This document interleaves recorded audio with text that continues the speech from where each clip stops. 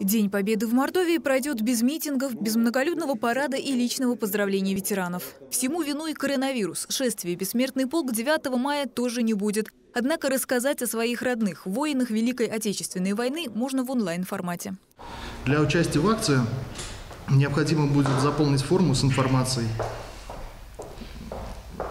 и добавить фото родственника и ветерана на сайте Бессмертного полка России www.polkrf.ru или на одной из партнерских площадок сайта проекта «Банк памяти», либо в социальных сетях ВКонтакте и Одноклассниках. Создаться единая информационная база, на которой автоматически будет формироваться видеоряд из фотографий участников войны и его родственников. Трансляция шествия запланирована на медиаэкранах по всей России. Показать лица своих родных, защищавших родину, можно по-разному. Еще один вариант – выставить их фотографии в окна. Я, допустим, фотографию своего отца, своих родных, которые были участниками войны с утра 9 мая, а может быть даже раньше, и 8 мая, 7 мая. И они уже будут прикреплены на окне э, квартиры и с улицы, чтобы было их видно. И таким образом, если мы все так сделаем, вот э, они будут смотреть друг на друга и будут смотреть на нас.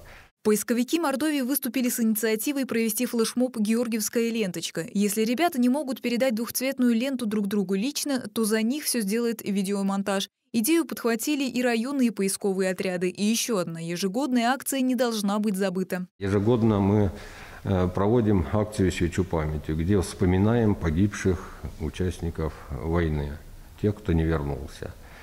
Э, обычно это на площади Победы бывает. Мы приходим в 8 или 9 вечера, зажигаем свечки и стоим. В этом году такого формата не будет, но э, каждый может дома, не обязательно в какое-то определенное время, когда удобно, собралась семья, собрались Э, все. И здесь можно и свечку зажечь, можно просто встать и помолчать, повспоминать родных и близких. Узнать о местах воинской славы и основных битвах можно также из дома, на сайте Музея военного и трудового подвига. Видеоэкскурсии с документами, подлинными кадрами сражений и подробный рассказ о войне смогут перенести в те самые сороковые. Напомним, оставить свой след в истории может каждый. Мы с нашим музеем мемориальным и поисковым движением э, организовали на сайте э, «Патриоты Мордовии», можем на экране показать, есть специальный раздел «Бессмертный полк Мордовии».